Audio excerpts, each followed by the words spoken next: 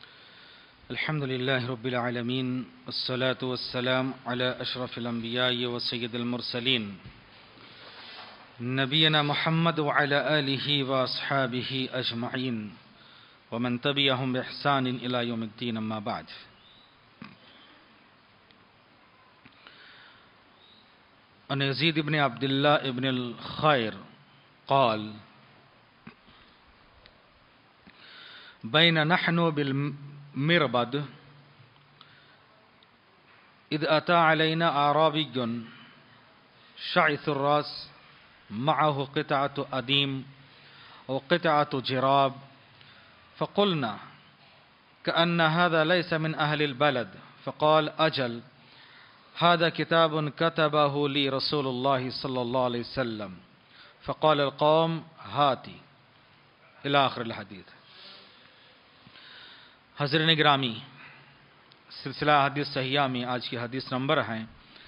2850 पर सात, यानी सत्तावन। और उसके अलावा मुसद अहमद और अबू दाऊद में यह हदीस है,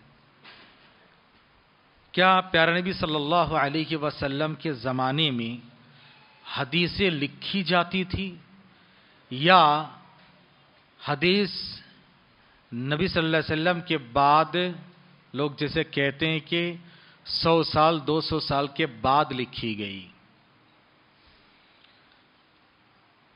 मुस्तशकीन की तरफ़ से उठाए गए एतराज़ात में से मुस्तशिक वो हैं जिनको ओरिएंटियलिस्ट कहा जाता है,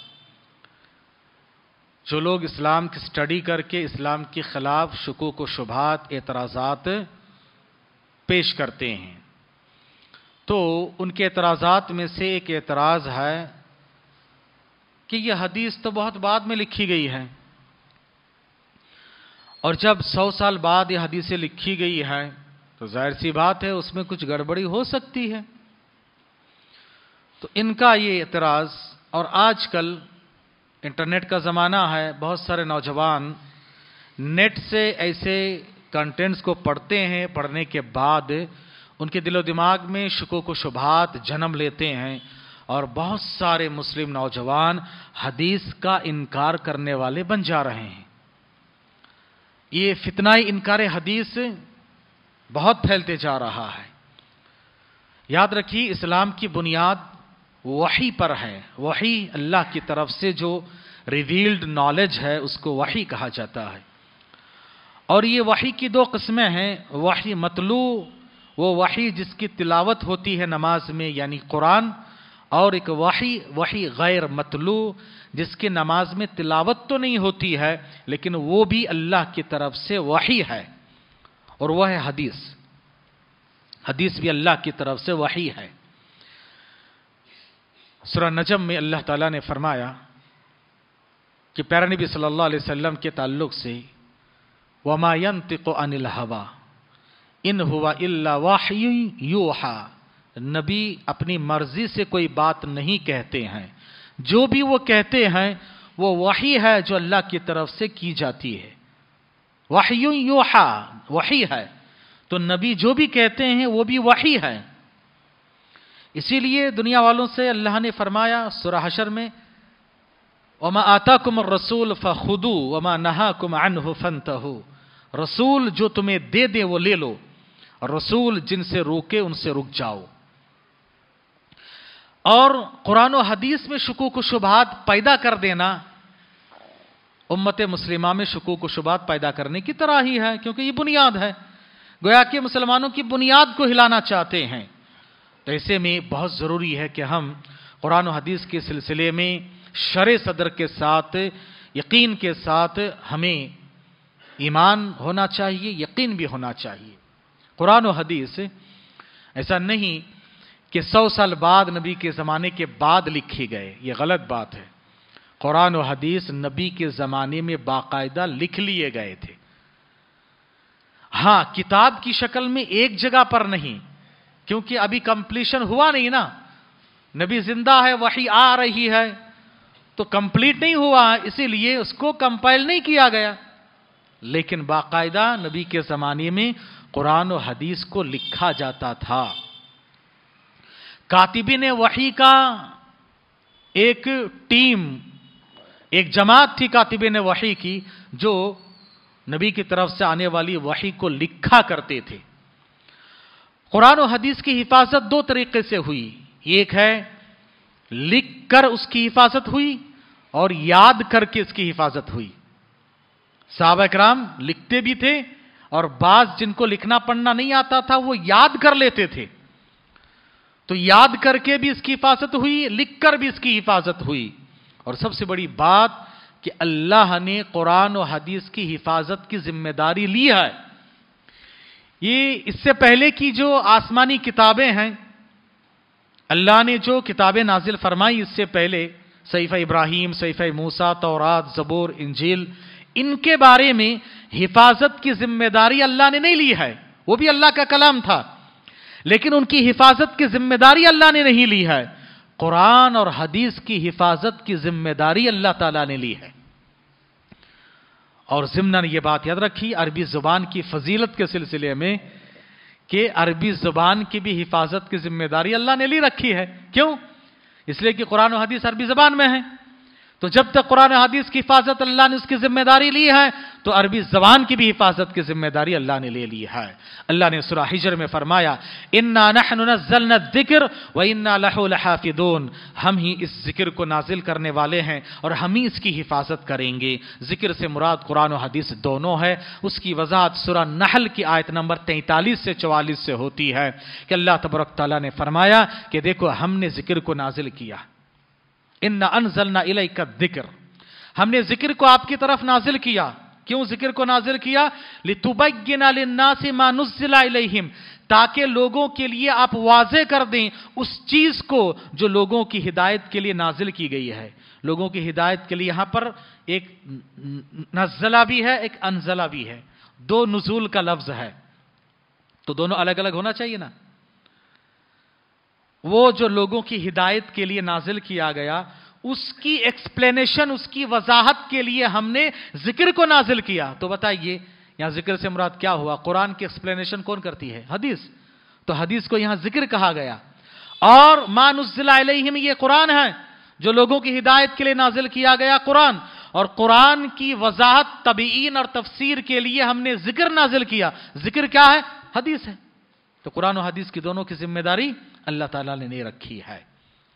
और ये हिफाजत की ज़िम्मेदारी अल्लाह तबरक ताला ने इंसानों पर डाली है और सहाबा लिखकर और याद करके दोनों तरीके से हिफाजत किए।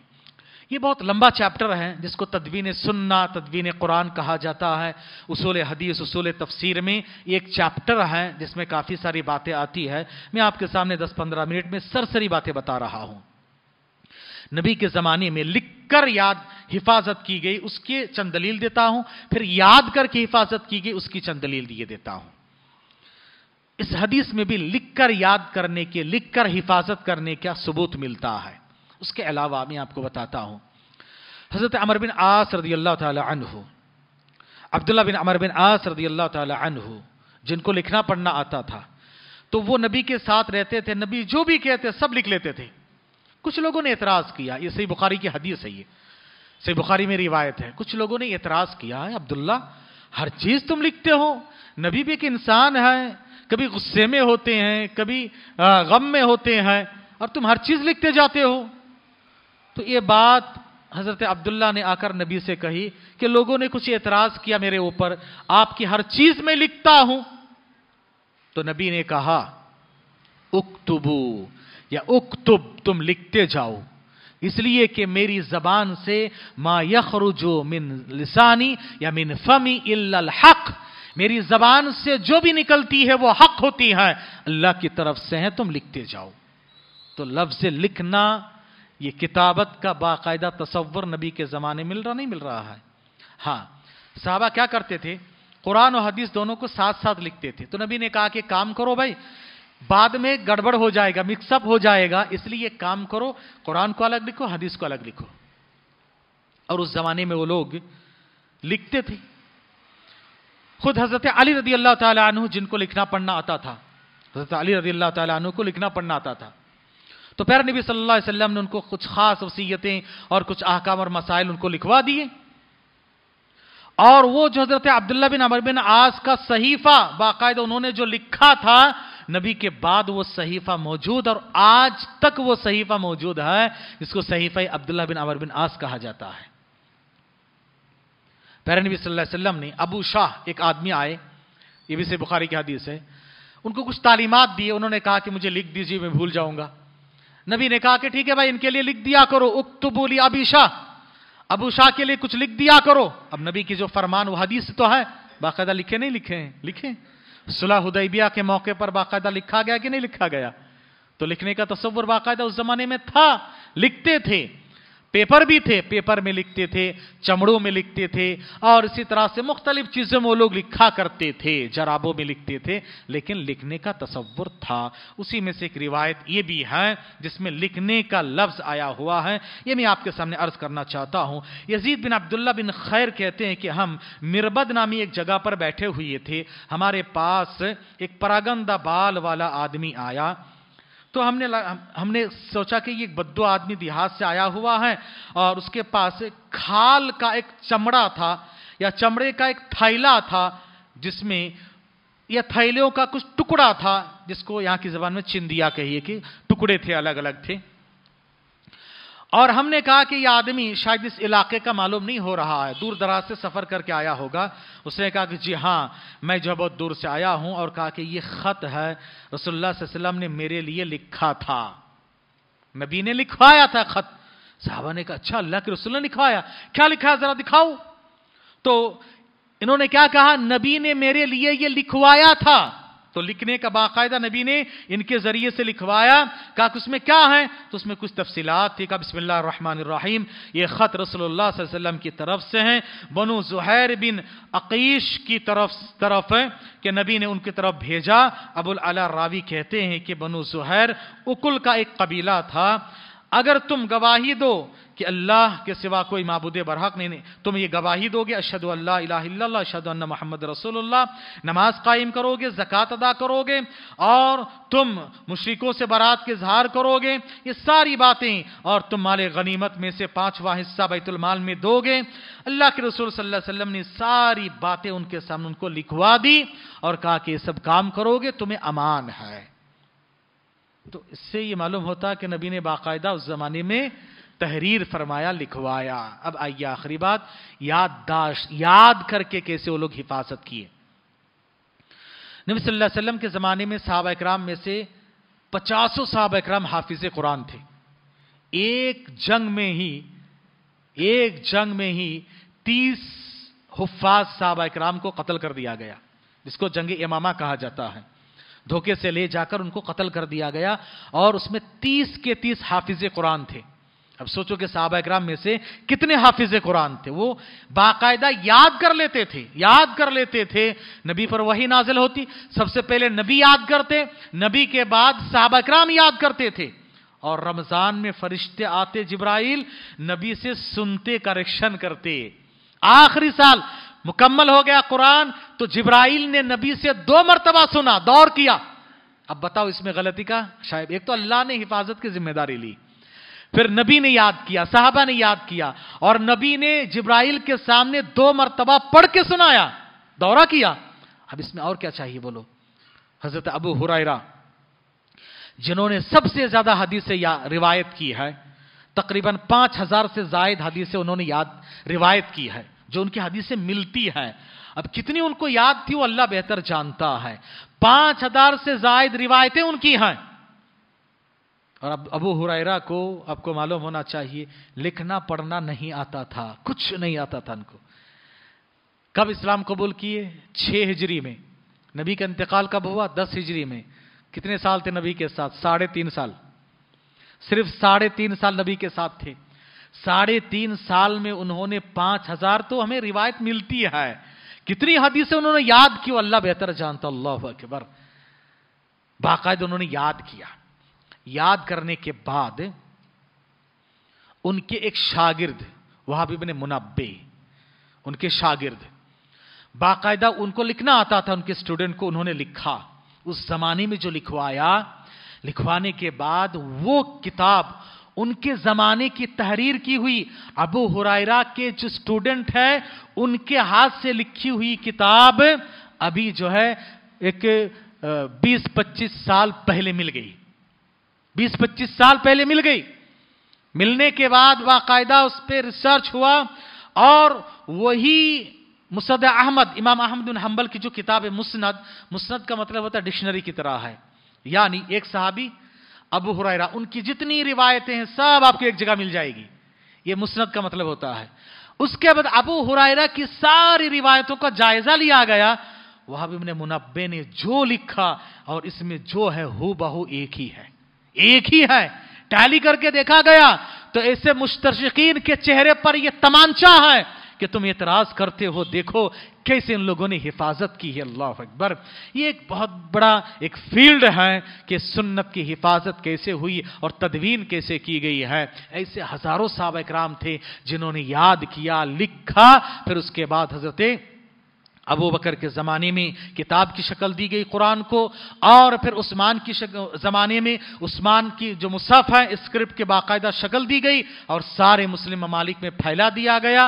और हदीसों के लिए, हदीसों के लिए सबसे पहले उमर बिन अब्दुल अज़ीज़, उमर बिन अब्दुल अज़ीज़, उन्होंने इमाम जहरी से कहा कि तुम हदीसों को जमा करके, इकट्ठा करके किताबी शक्ल देकर मेरे पास भेजो। उन्होंने सबसे पहले ये काम किया, फिर इबन जुराइज, एक मुहदस गुजरे, उन्होंने ये काम किया। और बाकायदा चैप्टराइजेशन के साथ जिसने सबसे पहले हदीस की किताब लिखी है, वह इमाम मालिक रहीमहुल्लाह। इमाम मालिक, उनकी पैदाइश कब की जानते हैं? 93 हिजरी में पैदा हुई। 93 हिजरी में पैदा हुई और इमाम मालिक की किताब अलबत्ता जो आज तक अवेलेबल है, उन्होंने सबसे पहले हदीस की किताब लिखी, फिर उसके बाद ये सिलसिला चलता रहा, फिर इमाम मालिक के बाद जो है, उनके शागिर्द इमाम शाफी ने किताब लिखी हदीस में, जिसका नाम है अल उम अल उम है। और फिर फिक में भी किताब लिखी, जिसका नाम रिसाला है। इमाम शाफी के बाद इमाम अहमद हम्बल उनकी किताब मुसद अहमद, जिसमें तीस हज़ार से ज़्यादा हदीसें हैं। हाँ सबसे मोटी किताब, दूसरे नंबर की सबसे मोटी किताब मुसन्नब इबन अबी शैबा, ये हदीस की सबसे मोटी किताब दूसरे नंबर पे मुसद अहमद है। और इमाम अहमद के शागिर्द है इमाम बुखारी। इमाम बुखारी इमाम बुखारी कहते हैं कि मुझे दो लाख से जायद हदीसें याद थी। दो लाख से जायद। हदीस का मतलब सिर्फ़ टेक्स्ट नहीं, उसकी सनद के साथ। और सनद का मतलब क्या जानते हैं कि यह हदीस नबी से लेकर उस्ताद तक इमाम बुखारी के उस्ताद तक कितने लोगों ने रिवायत की है? सबके नाम के साथ बोलना है। यानी एक हदीस के चेन, वो हदीस के चेन, ये हदीस किसने किसने बताई है? ये बहुत बड़ा चैप्टर है। यानी जिसको असमाय रिजाल कहा जाता है। कैसे उनकी याददाश्त थी? देखो, अल्लाह अकबर, कि ये बयान करने वाले कौन कौन है? ये हदीस बयान करने वैसे लाखों हदीसों के रावियों तो और लाखों की तादाद में उन सब के बारे में कौन ज़यीफ, कौन सही, ये सब याद रखना मामूली बात नहीं है। हाँ कंप्यूटर की याददाश्त भी फेल है ऐसे लोगों के सामने। इमाम बुखारी की याददाश्त के कई मिसालें नमूने हैं, अभी वक्त नाकाफ़ी है। बहरहाल इस तरीके से कुरान हदीस की हिफाजत हुई है। दुआ करते रबालमीन से अल्लाह तबरक हमें और आपको कुरान हदीस की कम इल्म हासिल करने और यकीन रखने, अमल करने की तोफ़ी कता फ़रमाएँ। आमीन। सोन हमदी का शद तस्तफ़र महमद